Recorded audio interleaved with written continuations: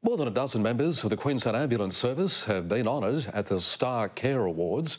The ceremony recognises those serving on the North Coast.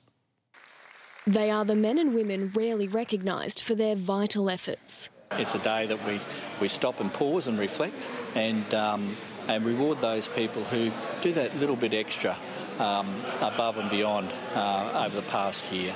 Brock Harris took out the Young Hero of the Year for assisting his mum after a car crash.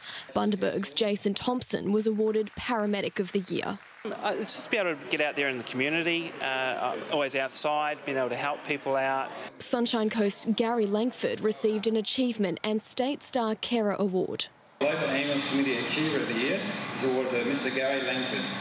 Alongside Ross Dixon, who was awarded for the Emergency Medical Dispatcher of the Year. It was his partner who originally inspired him to join the service.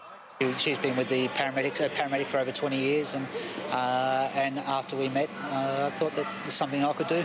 This week also marks 21 years of the Queensland Ambulance Service, which before 1991 was known as the Queensland Ambulance Transport Brigade. The Queensland Ambulance Service, they're, they're the frontline service for health in Queensland. And uh, what these paramedics do in the back of ambulances were only administered by surgeons only 20 years ago.